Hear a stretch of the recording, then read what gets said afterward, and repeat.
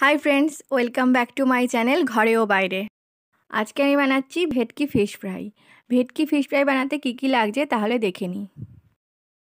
প্রথমে আমি মিক্সিং বলে ধনে পাতা, পুদিনা পাতা, রসুন কুচি আর কাঁচা লঙ্কাটা পেস্ট করে নেব। তারপরে ওর মধ্যে একটা মিডিয়াম সাইজের পেঁয়াজকে চার টুকরো করে কেটে দিয়ে দেব। দিয়ে ওটাকে ভালো করে পেস্ট করে নেব।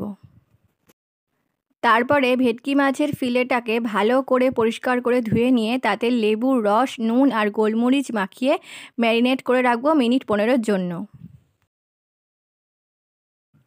পনেরো মিনিট পরে পুদিনা পাতা, ধনে পাতার পেস্টটা দিয়ে আরও আধ ঘণ্টার জন্য আমি ম্যারিনেট করে রাখব।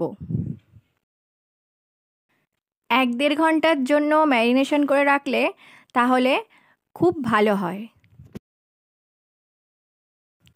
এবার আমি ব্রেড ক্রামসের মধ্যে নুন আর গোলমরিচটা মিশিয়ে নেব। তারপর ওই ব্রেড ক্রামসের মধ্যেই ভেটকি মাছের একটা করে ফিলে দুপাশে কোট করে নিয়ে তারপরে আবার ডিমের ব্যাটারে ডুবিয়ে নিয়ে তারপরে আবার ব্রেড ক্রামসের মধ্যে দুপাশে কোট করে নিয়ে তেলে ভেজে নেব।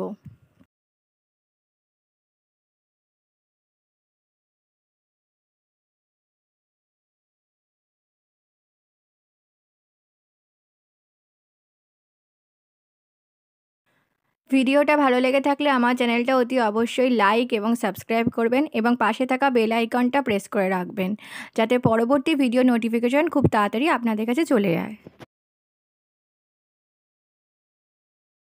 আমার গরম গরম ভেটকি ফিশ ফ্রাই রেডি।